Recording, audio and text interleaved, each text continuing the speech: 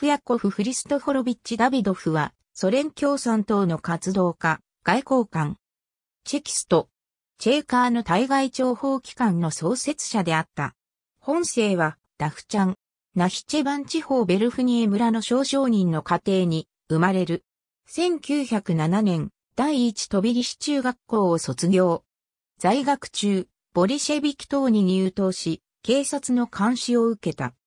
1907年、ペテルブルク大学に入学し、同年、ロシア社会民主労働党ペテルブルク委員会委員に選出される。1908年に警察により逮捕されるが、保釈金を払って釈放された。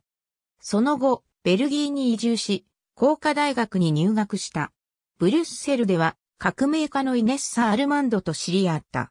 第一次世界大戦勃発とともに、ベルギーはドイツ軍に占領されたが、ダフちゃんは党の業務を続け、反戦運動を展開した。1915年、ドイツ軍により逮捕され、アーヘンの刑務所に8ヶ月間拘留された。その後、ドイツ国内の抑留者収容所に移された。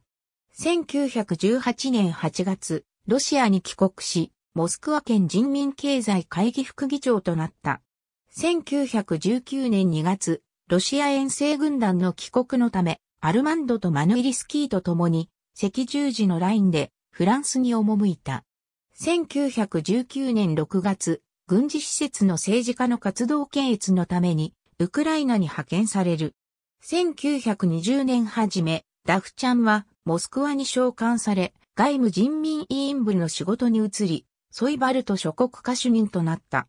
同年、チェーカー外国家の初代課長を兼任した。この時から秘密保持のためダビドフの姓を使用し始めた。ダビドフにより外国家規定が立案され、その機構と定員編成問題が解決された。1921年夏から外務人民委員部で働いた。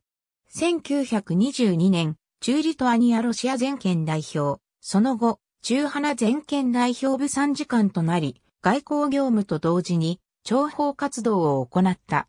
中国では、オーゲペイウ外国家の総支局長の役割を果たし、1925年まで滞在した。1925年から中仏ソ連全権代表部参事官、1927年から中イランソ連全権代表、1930年から党行政業務に移った。しばらくの間、レニングラード工科大学の学長だった。1932年、中ギリシアソ連全権代表。1934年、中ポーランドソ連全権代表。1937年、大粛清の中、トローツキージノビエフブロックへの所属の権疑で逮捕される。1938年、内務人民委員部特別会議の判決により銃殺。1956年、名誉回復。ありがとうございます。